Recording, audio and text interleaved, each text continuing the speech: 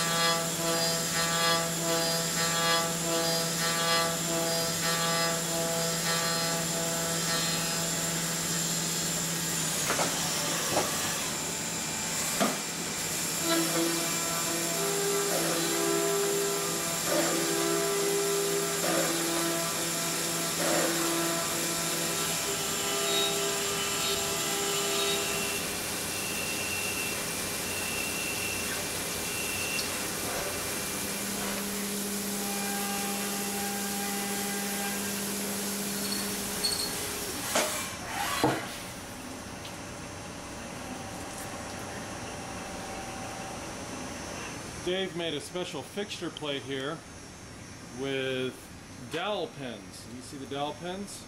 They go into the mains, into the little tiny holes we machined earlier with an eighth inch end mill. We'll stabilize the part after we cut it free from the block. Here we bolted the fixture plate onto the block and if you look really closely right in here we've started to cut the girdle away from the parent material. And that's why we have the fixture plate on top. The fixture plate is bolting down to the original parent material, but right here we're also bolting the girdle to the fixture plate. So when we finish cutting it away right here, the girdle will still have support all the way across the rotary axes. When we roll it over, we're going to finish the machining operations and then we'll deburr.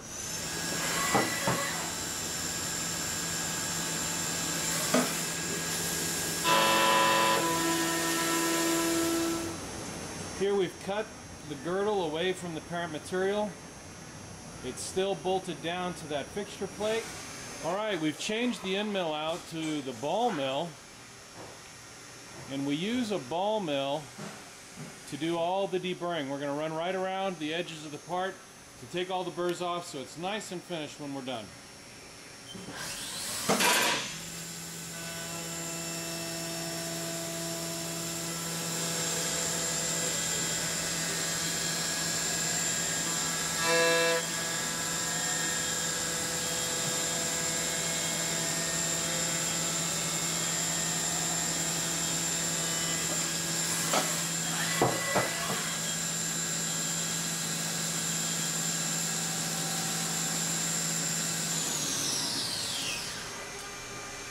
Here we've turned the girdle 90 degrees so we can machine up on the bell housing end of the girdle. I'm going to zoom in right here. This is the outlet uh, from the oil pump. Comes right out of the girdle. And you can see there's where the oil pickup bolts on. We're going to cycle start. We've got it turned down because we're right up at the edge of the end of our Z. Z is the up and down movement of the drill, of the machine. You can see we're very, very close.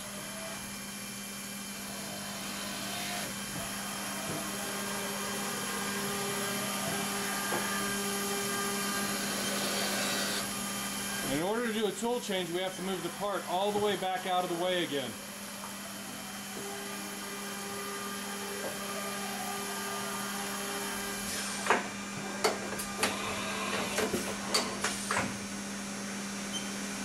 We've got it in single block mode, so Dave is manually advancing it. We did that so it'd be easier for us to film it.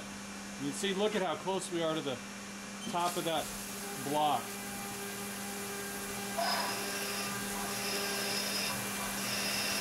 Again, we're drilling on the bell housing into the girdle. We've slowed the rapids down to only 25%. Now we'll tap. This is a 7 16 tap. Our machine is equipped with a rigid tap function. So the spindle and the Z-axis is coordinated for the tapping.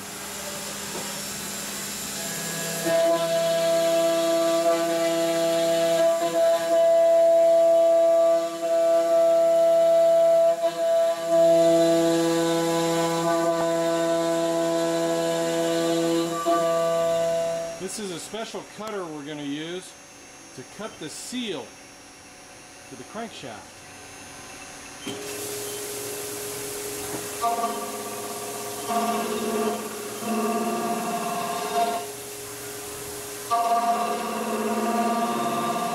We had to turn the girdle around so we could machine the timing chain cover or the front of the block. We're going to drill in the little holes and also make some pockets to lighten it up. We're right at the end of our Z travel here. We have to be very careful. You can see that it rotates right next to the table.